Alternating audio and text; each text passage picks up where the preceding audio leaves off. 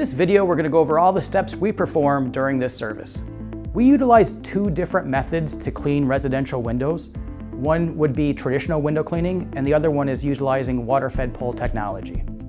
If you'll be having your interior windows cleaned, the only method really available is the traditional window cleaning, which will include using a special window cleaning soap and a squeegee. On the outside of the house, we have the option to not only use the traditional method of window cleaning, but also water-fed pole technology. We prefer using water-fed pole on your exterior windows because it totally eliminates the chances of streaking. We're able to guarantee there's no spots or streaks when we use a water-fed pole because the water that comes out of the brush has gone through a series of filters to eliminate all the hardness in the water. The water that you see being sprayed on your glass is completely spot-free.